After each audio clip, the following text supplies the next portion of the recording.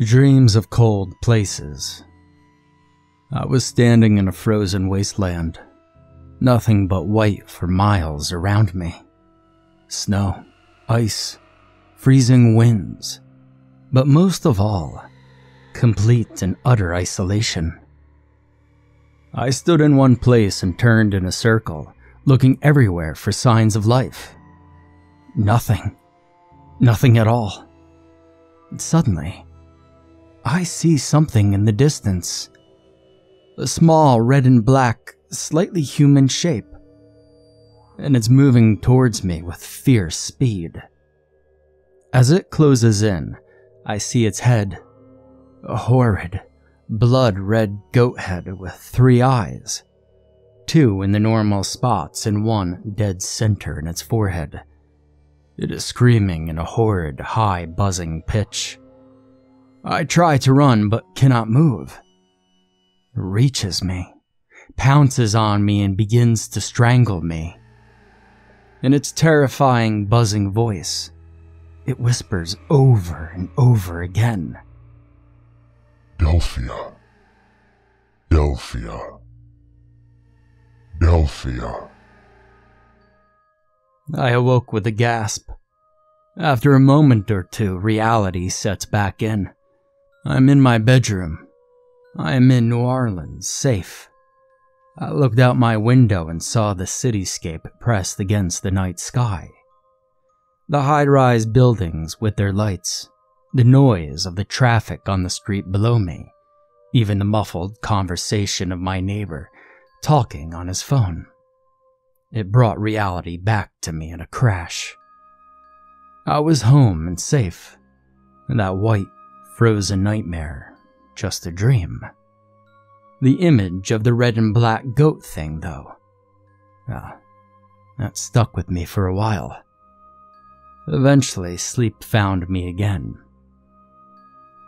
Plans and mistakes. Two weeks later, I was sitting at a street cafe with my friend Sergio. Sergio's father owned a yacht, and since our first day of college together, Serge and I had spoken nonstop about taking that yacht out on the open waters, sailing from the Gulf of Mexico down the coast of South America, and then back again. So, is your dad really going to go for it, Serge? Yep, we graduated on time with the right GPA. That was his end of the deal. I asked him last night, and after he studied over my transcript for about an hour, he agreed that we could take the boat out for our cruise. This was to be our defining moment. Right after college, but before going into the workforce. Our last chance to be crazy kids before settling down into a lifetime of pushing papers and being adults. We pulled out our map and began to plot our course again for the millionth time. The boat was docked in Biloxi, Mississippi. We would leave there and just sail south. We had enough supplies locked down to make the trip a breeze. We had all the right port cities marked off to stop at and party. This was going to be an amazing journey. We both stocked up on personal items. I brought my portable gaming devices and plenty of batteries. Of course, we both had our cameras. Serge was more of a reader, and he stocked up on large novels and other books. Most were just the standard Stephen King type books. However, one he had to go to a special bookstore in the French Quarter, called Esoterica, and order. I only saw the book once before we set sail. It was a paperback, nothing fancy. However, it had no title, no author, nothing on the spine. I asked him what it was for, and he responded that it was for the journey. He wouldn't go any further about it, and honestly, I really didn't care. The only thing on my mind at that time was setting sail. Three days later, we were sitting at a Starbucks in downtown Biloxi, waiting on the call from the marina. Serge's dad had hired a professional crew to ensure that every inch of the boat was in top notch condition. Serge was being strangely quiet for once. He was writing numbers on his napkin. I asked him what was up, and he just shrugged, told me he was thinking, and promptly tossed the napkin in the trash. Shortly afterwards, we received a call from the dock crew telling us that our yacht was all set. We had left our cars in a pay lot for safekeeping in Biloxi and would pick them up in about five weeks when the trip was complete. Upon arrival at the marina, we loaded up our personal belongings, conducted a quick safety brief with the dock crew, checked our essentials one last time, and finally, after four years of waiting and talking, we set sail. To tell a little about this yacht, it was pretty much a floating house. Needless to say, Serge's dad was rich. We both had private bedrooms on this boat. It had a fully functional kitchen, 62 inch television with a mounted satellite for all the channels, all the gaming consoles on the market, tons of food, and a respectable amount of emergency supplies. We had dried rations similar to military MREs, and enough bottled water to drown a whale. Journey to Damnation. The start of the journey was everything I had been hoping for. We took turns at the wheel, pretending that we were the captain of some great expedition. We drank too much when the sun began to set, and spent the evening laughing and telling stories like kids at a sleepover. We sailed south and stopped at several port cities in Mexico.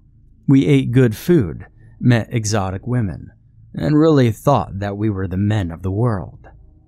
We hit Brazil next, stopping in a couple of spots to refuel and resupply. And this would be our last stop for a few days, until we planned to stop over in Uruguay. Brazil was fun. I ended up meeting a woman and spent the night in some seedy motel. Sergio returned to the yacht, saying that he wanted some time to himself. I thought nothing of it. That was when I believe the trouble started. The next morning, I returned to the boat, ready to set sail south again. When I entered the main cabin, a strange smell hit me. Something had been burned in here. Maybe a candle, I wasn't able to tell. I noticed Sergio stowing his mystery book in his footlocker. He said that he was ready to go, so away we went. The trip between Brazil and Uruguay was strange. Serge barely spoke to me. I was starting to wonder if I had done something to offend him. This was out of character for him to be so quiet. One night, over dinner, I decided to try and break the silence. Serge, are you good, man? I asked. I am, he replied. It's, well, it's just that you haven't said much. Were you trying to score with that chick in Brazil? I mean, did I step on your game, bro?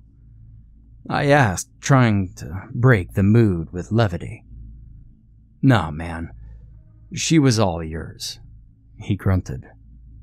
Okay, just well, stop being so damn quiet. It's weird to be out here in the open waters with you acting like a deaf mute. He grunted some quick response and went no further. He tossed his meal and walked back to his cabin. This was getting on my nerves. All this way from home and stuck with a guy who was having an emo moment all of a sudden. Once we made it to port in Uruguay, I made it my mission to get him out of his shell. I mean, honestly, I felt like I had to do something. He hadn't been sleeping much. He wasn't eating much either. His silent act wasn't improving. He was slowly becoming more and more reclusive each day.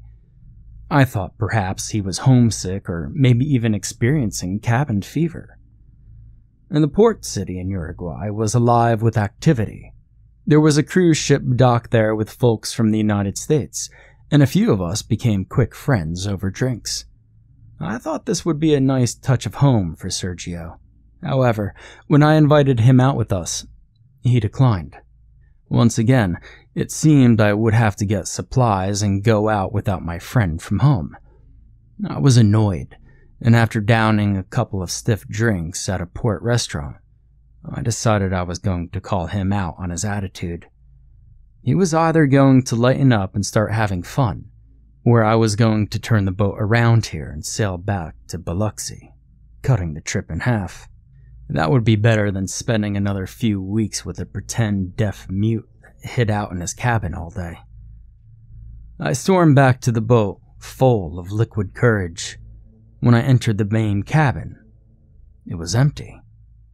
Perhaps he had gone into town anyway. I cracked open the door to his cabin, though, and saw him sleeping. Careful, Serge. Don't have too much fucking fun on this trip, I whispered in a harsh voice before shutting his door. That is when I noticed his footlocker was open slightly. I was bored and I was angry, and so I didn't think twice about invading his privacy. Opening the locker, I saw that most of his dried foods were untouched. His paperbacks that he had brought to read were still in perfect, unopened condition. All except one, that is. That weird black book he bought from the occult gift shop in the French Quarter. I could tell just by looking at the front cover that he had been using it a lot. I had to know what was going on in there.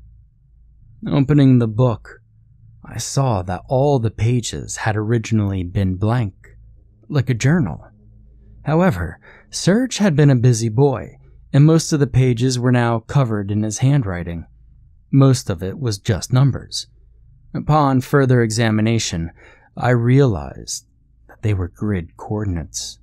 Okay, nothing strange about that really. We had been plotting grids for weeks before this trip, and I almost put the book back when I saw a word scrawled over and over again, mixed in the grids. Delphia. Changing course. I knew that word from somewhere, but was having a hard time placing it. It was richly familiar to me, but only somewhere deep in the back of my mind. I was sitting there, trying to place it, when the book was suddenly snatched from my hand. Serge was awake. Messing with my shit? He asked with no humor. Yeah, dude. You've been acting like a fucking freak since we left for this trip. I'm tired of spending all my time in the ports alone, doing all the work, while you sit on your ass in bed all day. It was gradually working up a temper, and I knew I had to rope it in. Don't go through my stuff again, Derek, he replied. Again, no humor. What's going on with you, man? I asked him, trying to restore some civility. Stay out of my footlocker, Derek. Last warning, he said flatly before slamming the locker and placing a padlock on it. After that, he began walking back towards his cabin. Okay, this trip is over. After we refuel in the Falklands, we're turning around and heading back north. I'm done with this, I stated firmly. He stopped and turned around. What he said next chilled me. And not because of what he said, but how he said it. And the look on his face no humor, no friendship. He addressed me like a stranger. Derek, don't fuck with me. This trip is over when it's over. Don't piss me off again. We sailed the rest of the way to the Falklands without a word between us.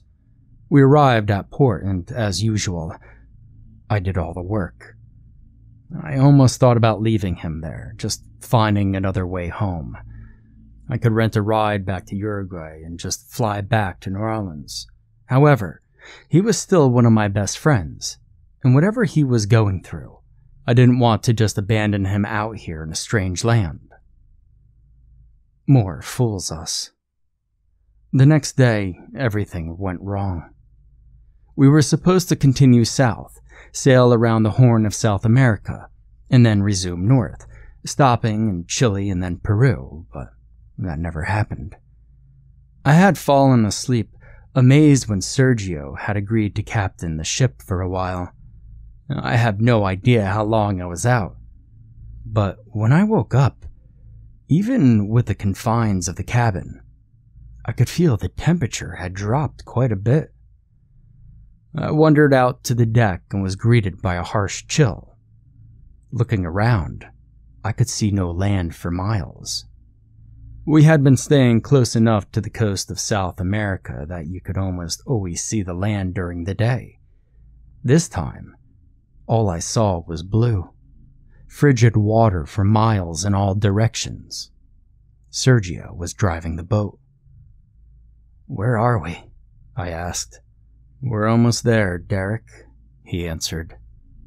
Where? Chile? I responded. Delphia, he replied. That word again. I could almost place it. My mind was right there, but still, a gap prevented me from totally recalling what it meant. Where is that? I asked. It's the birthplace of all he said with no emotion. What does that even mean? I was speaking with caution now. If Serge really was taking us off course, then perhaps he had snapped. This was no quarter life crisis. You'll see. I decided at that point that I didn't want to see. I really was done with this. I checked our GPS, and sure enough, we were way off course. From what I could tell, we were sailing away from South America towards Antarctica. And what could he possibly want there? We had discussed this trip so many times, and the one thing we're both adamant about was staying the course. After all, this was a luxury yacht, not some ocean liner. We weren't equipped to go that far. We had only brought minimal cold weather clothing, nothing thermal enough for Antarctica. With the way he was acting, I had no idea what he wanted to go down there for anyway. And enough was enough. Now, I'm no tough guy by any stretch, but I walked up on him and tried to pull him off the wheel. Sergio turned toward me first, holding his dad's pistol. I didn't even know he'd brought it. Back off, Derek, he commanded in a voice I didn't even know he owned. Are you fucking serious? Are you really holding a gun on me? I shouted back at him. We aren't changing course. Go back to the cabin. He replied, again with no emotion. I decided to try and approach him anyway. He was one of my best friends, someone I had known since high school. Surely he wouldn't shoot me. However, no sooner did my leg begin to twitch in his direction then he fired a shot. Right next to me. I saw the bullet make a splash in the water to my right. Last warning. Return to the cabin. What could I do? Even if he shot me by accident out here, we were hundreds of miles from a hospital. All I could do at this point was wait and hope that he regained his senses before this went too far. I decided to go back below deck and give him some space. At some point, I dozed off. I woke up some hours later, amazed that I had fallen asleep under such conditions. What I awoke to was worse than any nightmare my sleeping mind could have produced. The ritual. Sergio was still up top, I ventured carefully on deck, amazed at the sharp chill that had intensified during my nap. Serge was sitting on the deck, surrounded by candles, sitting in a strange symbol that he had drawn in chalk. He was chanting something. I couldn't make anything out except the word Delphia. There it was again. He would chant a string of something in that strange language and then whispered Delphia. I didn't see the gun. Still, I approached slowly. Serge, what's this all about? I asked carefully. We're almost there, he answered, smiling for the first time since Brazil. Delphia. The birthplace of all. I hope to see you at the ceremony of Hirak Tobit. I had no interest in his gibberish. Where's the gun? I asked. Here, he replied and raised it from behind his back. Will you give it to me? I inquired, trying my best to sound level, to not show the fear that was growing within me by the second. In a moment. I just wanted to thank you for being my friend. Maybe we can meet up in Delphia. Maybe you'll be invited to the ceremony. Look for the church, Derek. I opened my mouth to ask what he was talking about. But in that moment, Sergio, one of my closest friends, raised the pistol to his head. All hail Hyrak Tobit! All hail Delphia! Capital of creation. And with those words, the gun fired, and Sergio's dead body slumped to one side. In the distance, I thought I saw light suddenly come aglow. However, my mind wasn't on that. My mind was on one of my best friends, whom I just witnessed commit suicide. The next few hours were a blur of confusion and terror. Sergio was dead. I moved his body down to his cabin and covered him up. I activated the emergency beacon on our GPS and attempted for hours to radio for help. It was no good, though, we were too far out. And as if this nightmare couldn't get worse, I also discovered that Sergio had tampered with the boat somehow. The engines were cold. Try as I might, I couldn't get them to power back. I was adrift. I could only pray that someone would pick up the emergency signal and send help.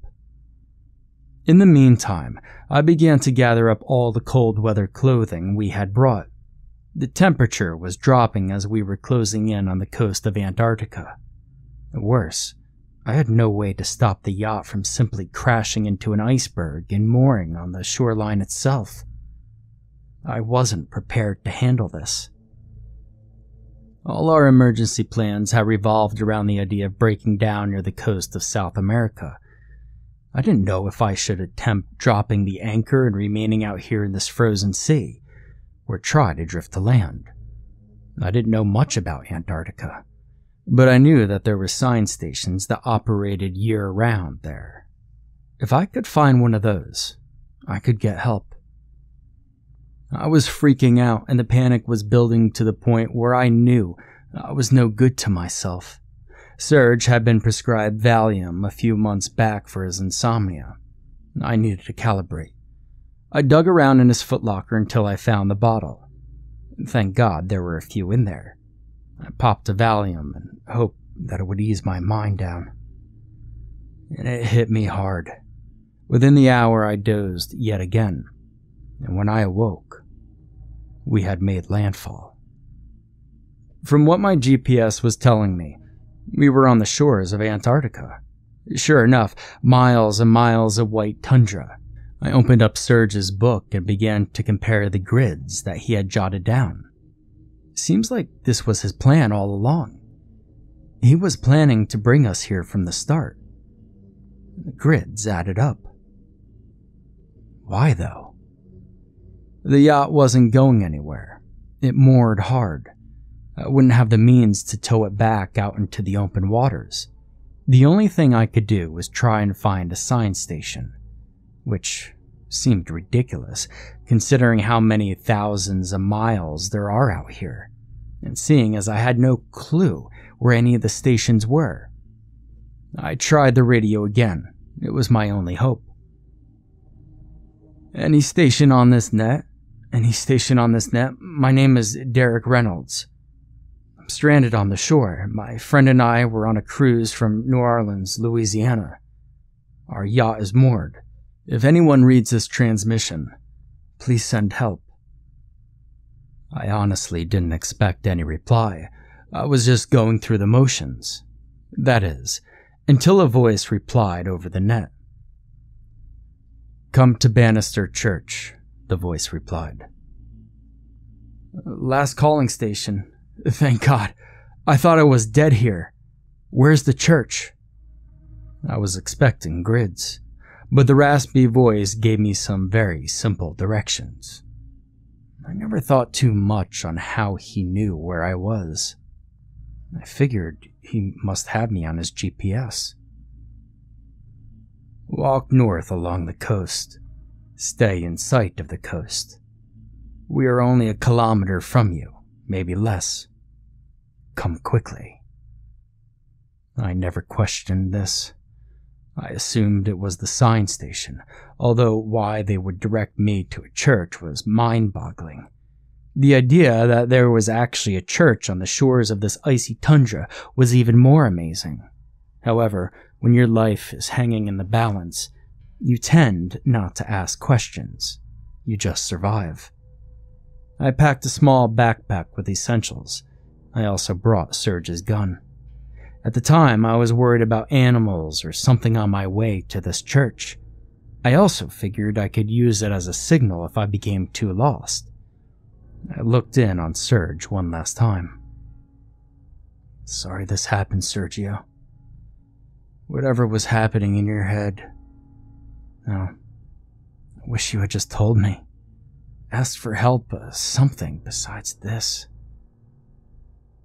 and that was the closest thing to a eulogy I could produce under the stress.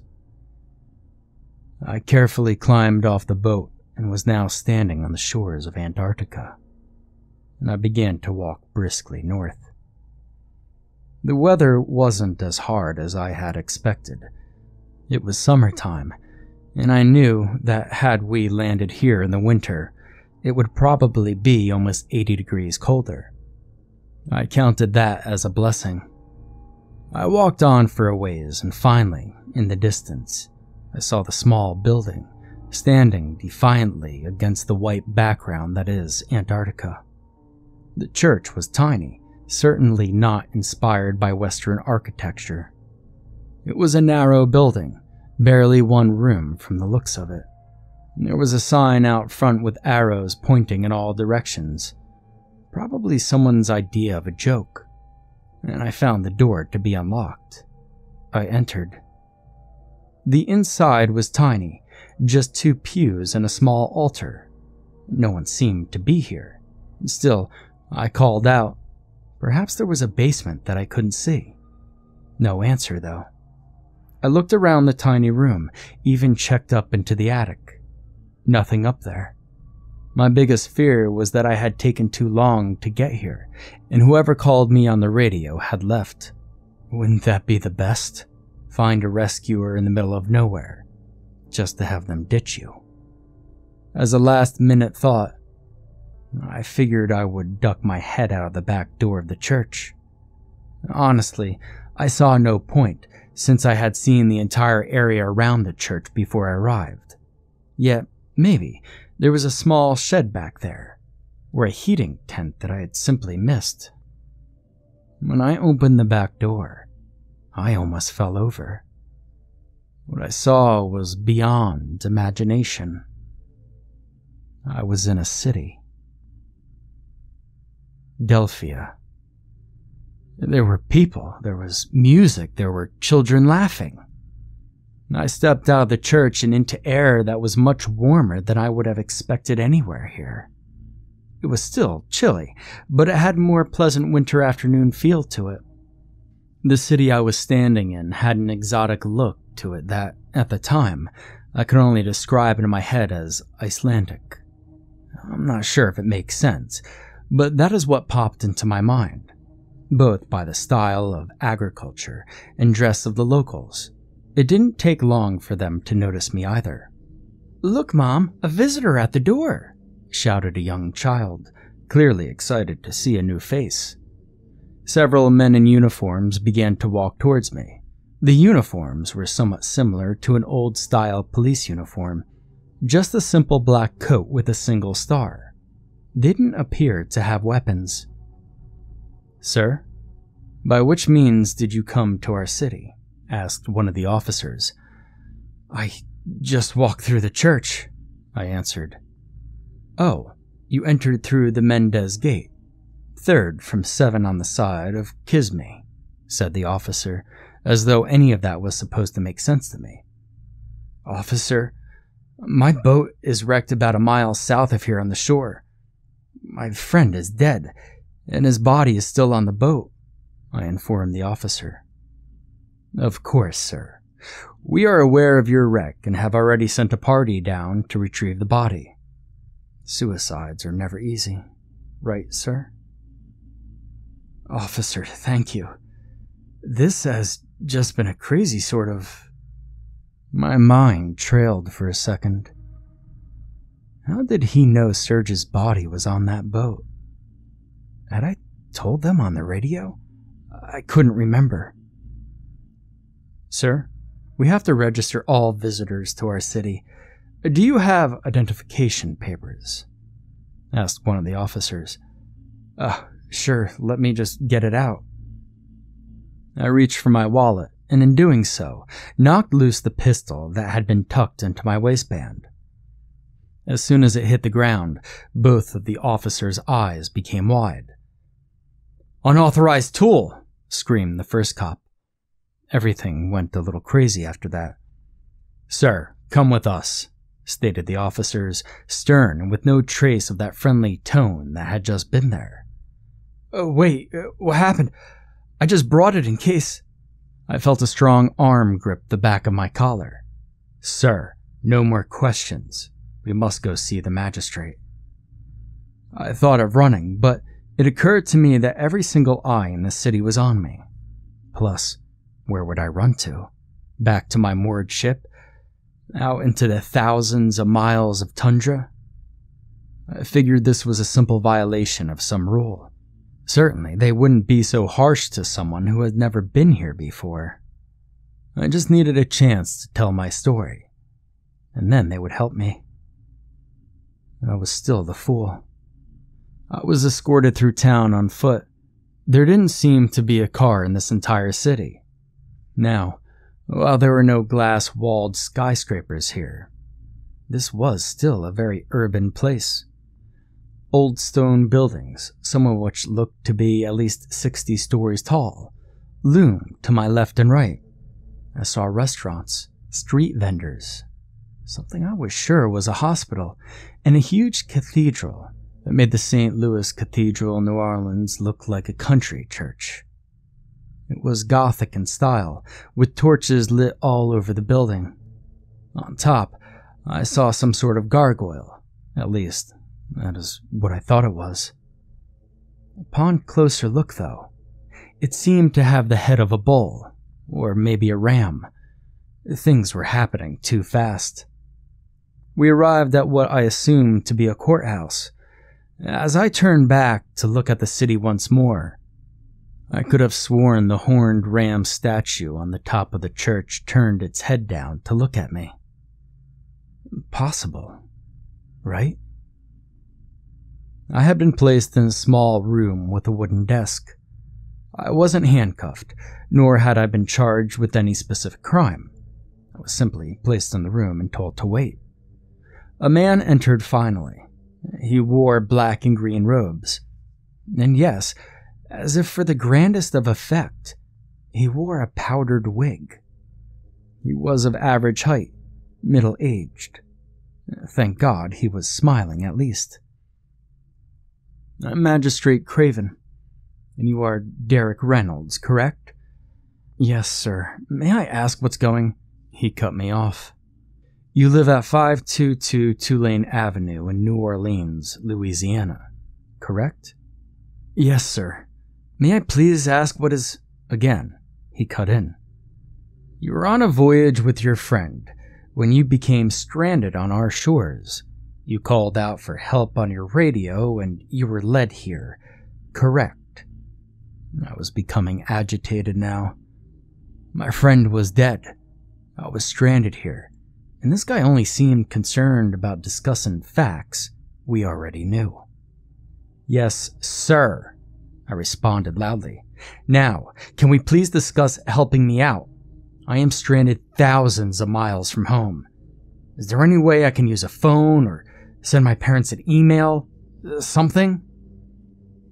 Unauthorized tools. No phone. No email. especially no guns. You violated our rules already when you entered town. Would you be so brash as to violate them further? And in front of the city magistrate? He was no longer smiling. I decided to come clean with him. I told him all about Serge's suicide, the ritual that he conducted, how he intentionally damaged the yacht. I apologized for violating their customs. I told them that I only brought the gun in case I needed to send a signal. My honesty seemed to sedate his rage a bit. His smile returned slightly. Mr. Reynolds, we understand that newcomers often have trouble adapting to our ways here. All is forgiven. However, as far as getting you back home, that may prove to be a challenge. We don't communicate with the rest of the world. While there are cruise ships that pass near here on occasion, and there are some science stations dotted on our continent, we have no means of reaching out to them. I'm afraid that much like your ship, you are moored here in Delphia. That name. This is what Serge was talking about. Is this where he wanted me to wind up? Uh, seriously, I was hot, despite the cool temperature all around me. I tried to hide my feelings from the magistrate. I wasn't sure about him, and I certainly wasn't sure about a city where your friend chants its name right before blowing his brains out. What about the radio? Someone from the city here responded to me.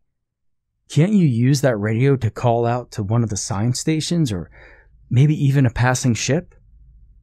His smile faded again. We are conducting an investigation into who used the radio here in Delphia. Such devices are unauthorized. My heart sank at first, it seemed that I was saved when I walked into this city. Now it seems that these people are not only unable to help me, but are also unwilling. We have arranged a room for you at the cathedral. Father Madison is happy to assist you in learning your way around. I think, in time, you will find Delphia to be a place of wonders. I began to develop a rage. I had to will myself to remain calm. I don't want to stay in Delphia. I want to go home. Please. The magistrate smiled as he turned to leave the room. Mr. Reynolds, you are home. Two uniformed guards entered and escorted me to the cathedral without a word. I tried to talk to them, to ask them for help, but they ignored my words. The inside of the cathedral was amazing. It was huge, the size of an arena easily. At least 200 pews lined each side of the church, and with each pew itself being long enough to easily seat several dozen people. I only describe this to give you an idea of just how vast this place was.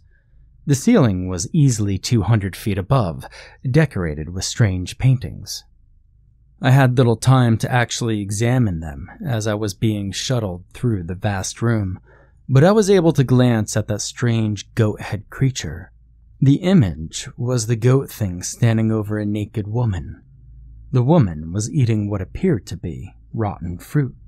The men escorted me through a small door near the main altar, which opened into a large oak walled hallway.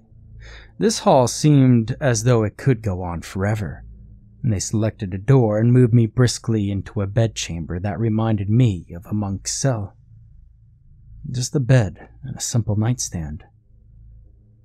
Father Madison will be in to see you shortly, grunted one of the officers before shutting the door and leaving me alone with my thoughts.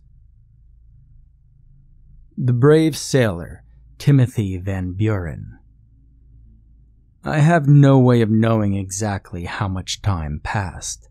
The door was locked from the outside. I paced the room, sat on the bed, paced some more, and finally began to hear some signs of life out in the hallway. Voices. Two men speaking. I couldn't hear their words through the thick oak walls very well. I thought I heard something like the masking, but that could have been my imagination. Eventually, it sounded like one of the men walked off.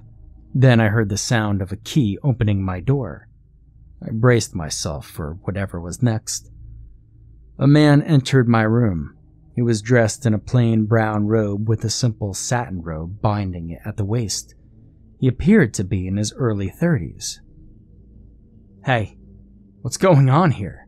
Why am I being locked inside of a church? I demanded.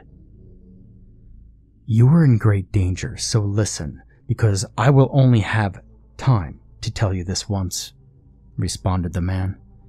I fought the urge to demand more answers, but opted to listen. I suppose you could say he had my undivided attention when he started his sentence with great danger. My name is Timothy Van Buren. I've been trapped here in Delphia for almost 70 years. Yes, I know my age defies that, but if you understand the dark magic that governs this place, you wouldn't question such a thing. Close to a hundred years ago, Antarctica was sought after by many countries. People wanted a piece of this land, either to civilize or militarize. Many expeditions were made here by many different nations. I'm from Wales, and we made our journey here in hopes of planting our flag and perhaps developing a port. Of course, none of us knew exactly how harsh the winters here really could become. Most of us realized early on that the idea of having a city here was ridiculous. However, our captain claimed that he knew a way, a way that we could live here, thrive here, and build here. He claimed that he had spoken with a monk and that monk had told him of a ritual that would unlock the true heart of Antarctica, known as the capital of creation, Delphia. We landed on the shores of Antarctica and found that our captain had committed suicide. Most of us decided uh, that the best course of action would simply be to sail home. However, the first officer deemed that a waste of resources. He wanted to report something of value back to our leaders, so we set out on foot, intended to conduct a survey of the area.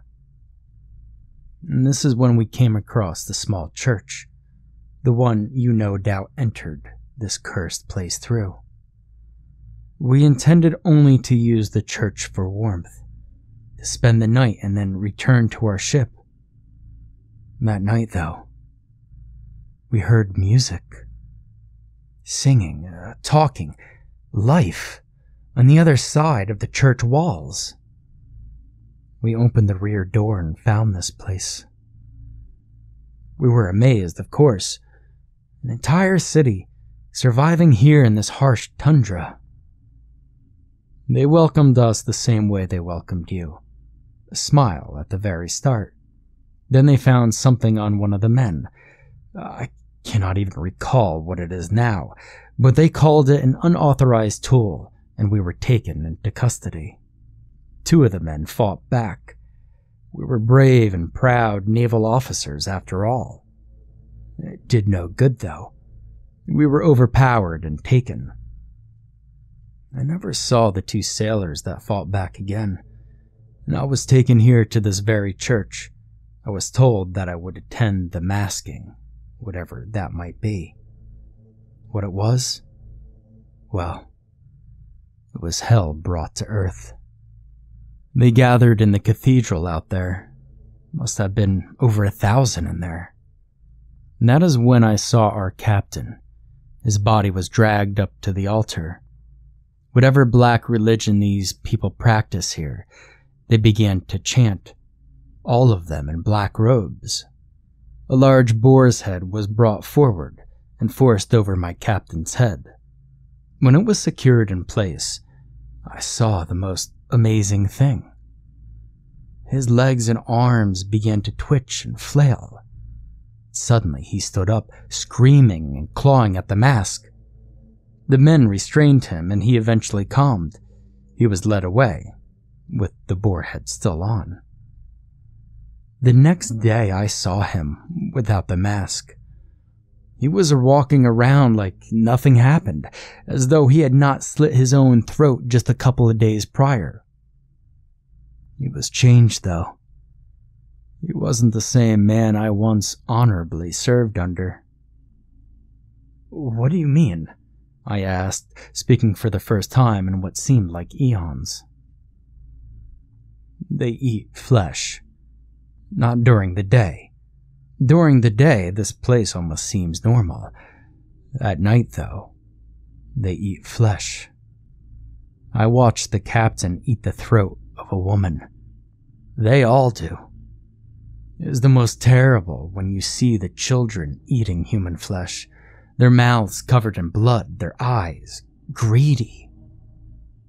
With that, Timothy stood up and moved towards the door, placing his ear to the oak, just to ensure we were still alone. It was I who called you on the radio. The church has claimed many items from those that come here.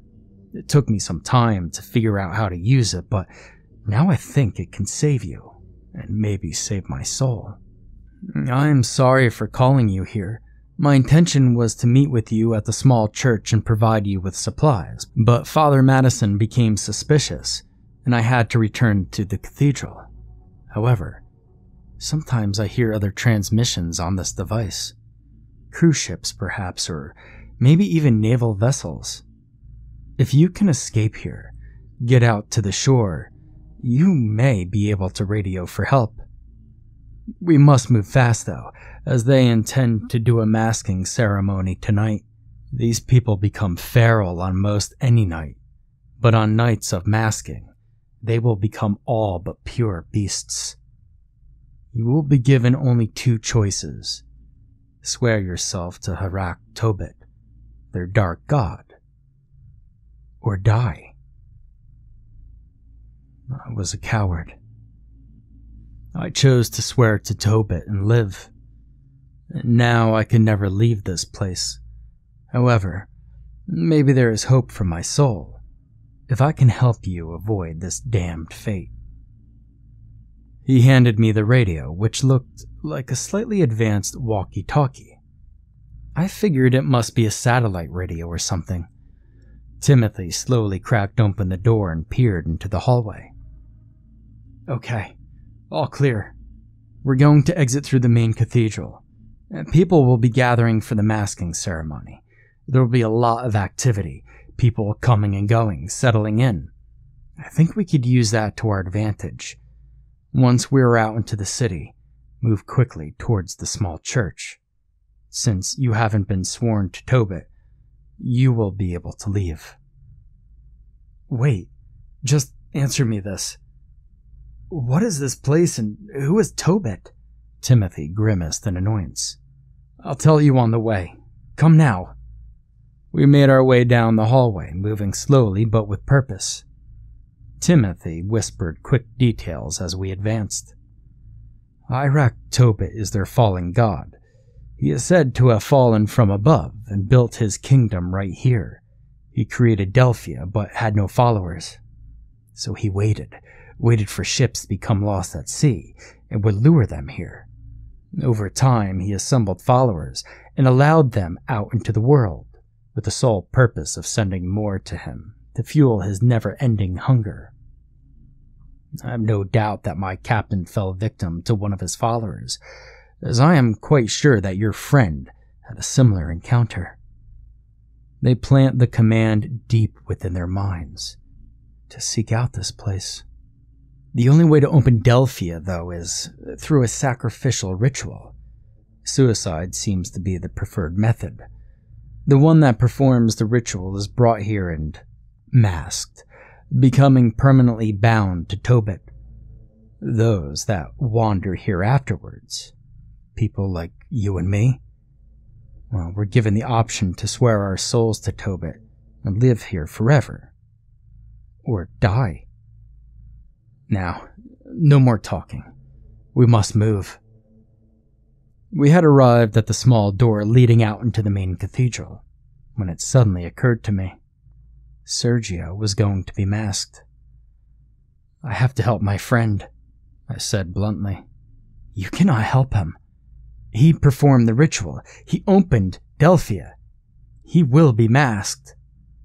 I felt rage build inside me. Rage against the evil city, rage against my own friend for doing this, and rage that I knew that I couldn't help him. Timothy was putting his life on the line to save me. I wanted to help Sergio, but the time to play hero was gone. I could have helped Sergio when I noticed his downward spiral, yet I chose to sit in Brazil and drink and sleep around. As selfish as I felt, I knew I had to focus on my own survival. The masking ritual. Timothy led me out into the cathedral, and as he had mentioned before, it was filling up with people.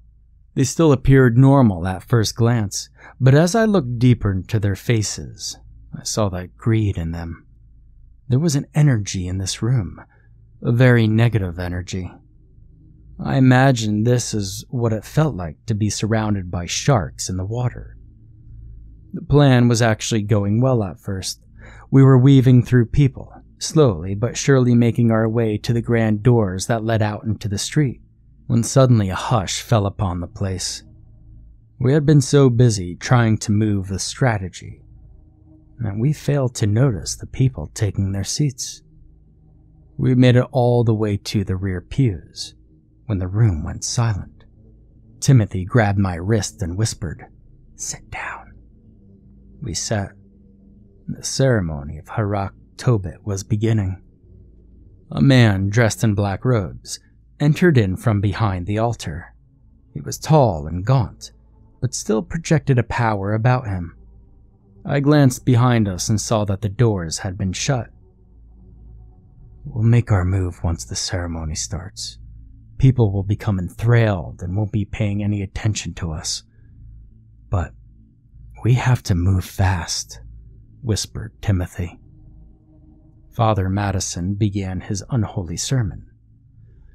People of Delphia, tonight we gather once more to perform our sacred ceremony of Hyrak Tobit. Tonight, another disciple has come forth, having executed the ritual of the seeing, and having once again opened our city to the world. Tonight, we shall revel in the spirit of Tobit. We shall consume as we are intended by the Creator to consume. Man consumes man. Woman consumes woman, and our Father, He of the depths from above, He of the darkest stars, He who must all offer communion upon, will consume from us, as it was intended, as it shall always be. As it shall always be responded the thousands attending. Madison looked over to one of his follow robed fanatics. Is our newest disciple prepared? The hooded man nodded. I noticed something covered in white linens being brought to the altar. Close your eyes. You do not wish to see this, urged Timothy. And how I wish I had listened.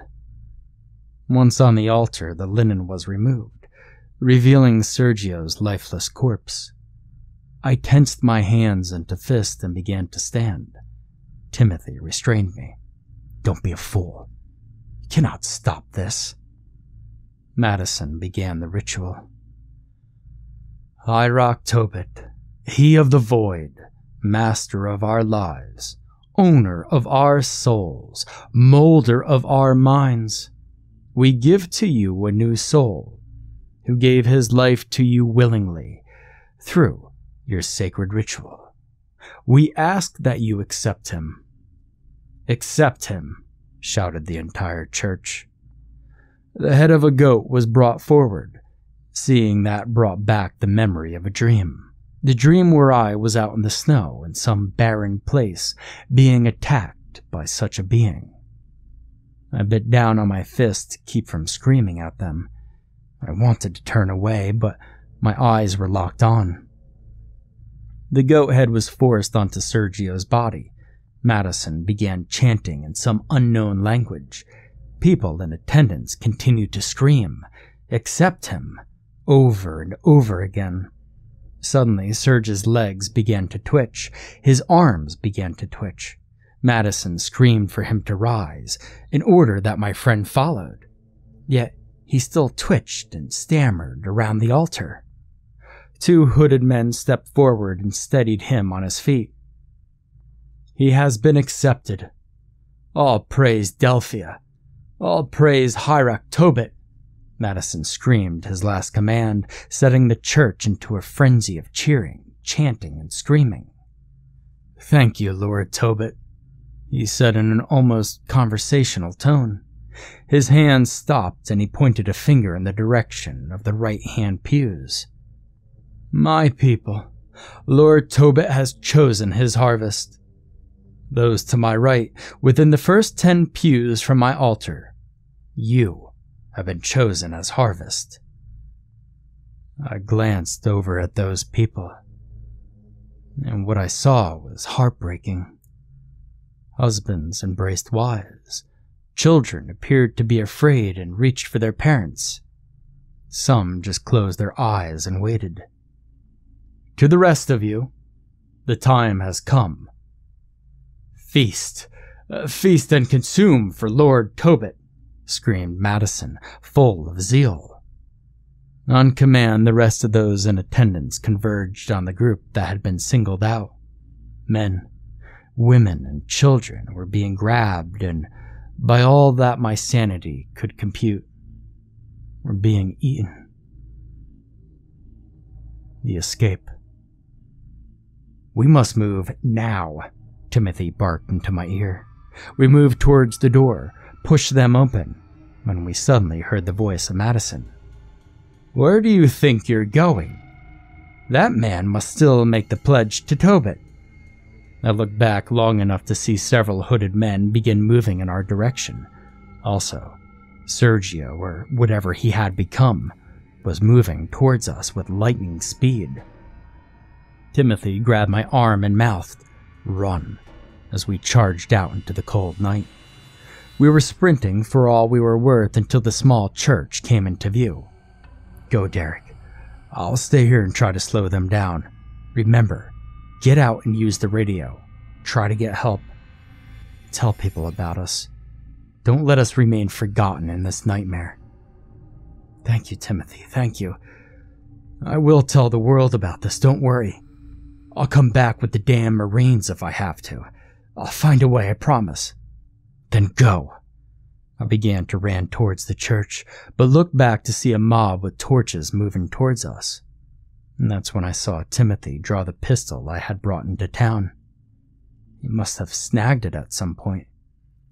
Come at me, you bloody wanking bastards. Come ahead and have a taste of an officer of the Royal Navy. Timothy emptied the gun in a volley of bullets that did manage to slow the mob's fevered charge. Once I made it to the door of the small church, I turned back once more to see Timothy standing at attention, preparing to be trampled by the mob. With the courage and nobility that he had shown tonight, perhaps that mob was in for more of a fight than they thought. And I honestly hoped Timothy would make it hard for them. I entered into the small church and slammed the door behind me. I moved a broken pew in front of the door, trying my best to wedge it closed. I could already see the torchlights of the mob approaching through the windows. I turned to exit through the front when I was met by a dark figure, standing directly in front of the doors that would lead to my freedom. Derek. My God. Derek, let's go on a boat ride. It was Derek, we finished school on time. Sergio. Serge, please let me out of here. Both of us. We just have to go through the doors. Derek, Tobit chose me. Fanatics began pounding on the door outside. I didn't have much time. They would break the door down in a matter of minutes. Serge, I didn't choose this. If this is what you want, then have it, but please let me go. I want to live my life. More pounding from the door. They would be here in seconds. Let you Go. Live life. Without thought, I reached forward and pulled the goat head off Sergio. The face beneath was blank. Suddenly, the door buckled in, and I could see hands reaching through, forcing away my makeshift barricade. Serge, those men will kill me. Is that what you want? And I pleaded. No. Derek. I am sorry. Sergio suddenly surged forward. I braced myself to be tackled. I cleared my mind, preparing for the end. When I felt no impact, I turned to see Sergio charging toward the rear door. He shoved the doors closed, forcing out the prying hands. Go now! he screamed. Without hesitation, I ran for the front doors. Within seconds, I was out, standing in the frigid world that was Antarctica. I turned back to see men filling the inside of the tiny church. They threw Sergio aside and advanced to the threshold of the door, but went no further. They stared at me, hatred in their eyes. Perhaps it was jealousy that I had escaped. I was able to catch one last glimpse of Sergio before I turned to run. He was smiling. I ran to the coast and kept running, and when I could run no more, I pulled out the radio and began to call for help.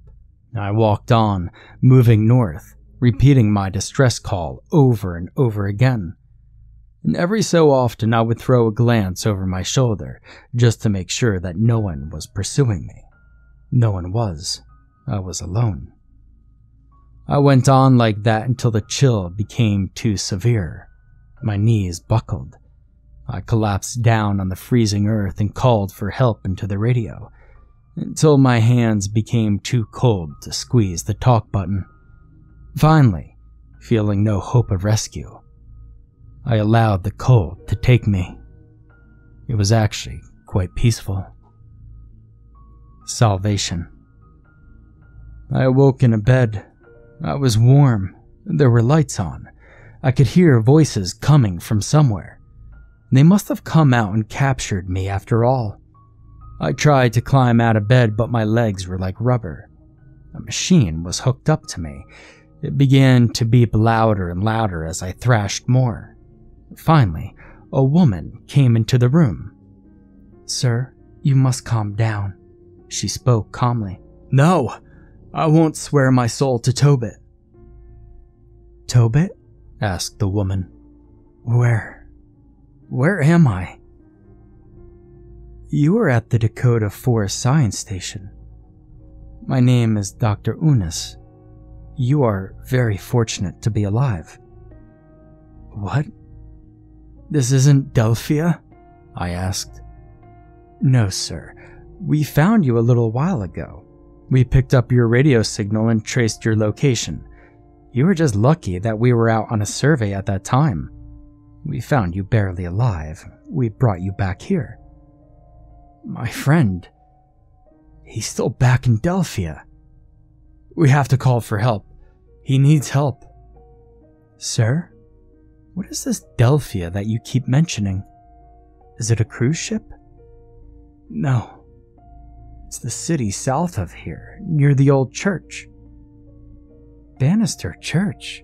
There are no cities there, just a solitary church that was built by early visitors to this continent. There are no cities in Antarctica, just a few science stations like this one. I was there.